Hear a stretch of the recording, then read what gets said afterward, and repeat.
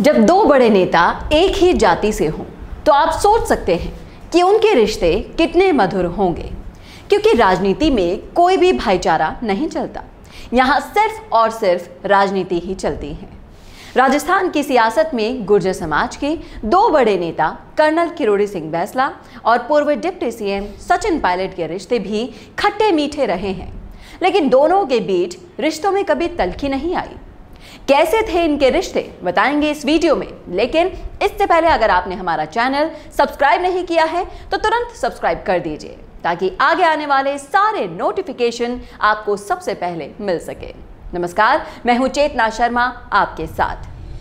राजस्थान की सियासत में गुर्जर समाज के दो बड़े नेता, कर्नल किरोड़ी सिंह बैसला और पूर्व डिप्टी सीएम सचिन पायलट के रिश्ते खट्टे मीठे रहे हैं, लेकिन रिश्तों में कभी तलखी नहीं आई।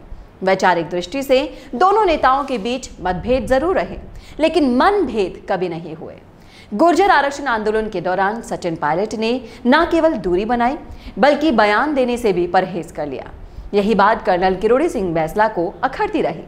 कुछ अक्सरों को छोड़ दिया जाए तो दोनों नेता एक जाजम पर कभी नहीं बैठे। कांग्रेस के वैचारिक मतभेद से इतर दोनों नेता एक दूसरे का बेहद सम्मान करते थे। बैसला जब अस्पताल में भर्ती थे सचिन पायलट उनसे मिलने भी गए थे। गुर्जर आरक्षण आंदोलन के अगुआ कर्नल किरोड़ी सिंह बैसला का राजधानी जयपुर में निधन हो गया था। विधानसभा चुनाव 2018 के दौरान सचिन पायलट ने दौसा ज़िले के महुआ विधानसभा क्षेत्र से कांग्रेस प्रत्याशी अजय बोहरा के पक्ष में जनसभा को संबोधित करते हुए आरोप लगाए थे कि मुझे हराने के लिए दोनों किरोड़ी, यानी कि किरोड़ी लाल मीणा और कर्नल किरोड़ी सिंह बैसला एक हो गए हैं। प्रदेश कांग्रेस अध्यक्ष होने के नाते गुर्जर और मीणा समाज के लोगों से मेरी अपील है कि कांग्रेस प्रत्याशी को वोट दे। महुआ विधानसभा से भाजपा सांसद किरोड़ी लाल मीणा के भतीजे को भाजपा ने टिकट दिया था, जबकि कांग्रेस ने अजय बोहरा को टिकट दिया था। और चुनाव में निर्दलीय प्रत्याशी ओम प्रकाश हुडला ने जीत दर्ज की थी। कांग्रेस प्रत्याशी अजय बोहरा चौथे स्थान पर रहे थे, जबकि किरोड़ी लाल के भतीजे राजेंद्र मीणा दूसरे स्थान पर रहे। कर्नल किरोड़ी सिंह बैसला ने विधानसभा चुनाव में भाजपा के लिए प्रचार नहीं किया, लेकिन गुर्जर समाज से भाजपा को वोट देने की अपील ज़रूर की थी।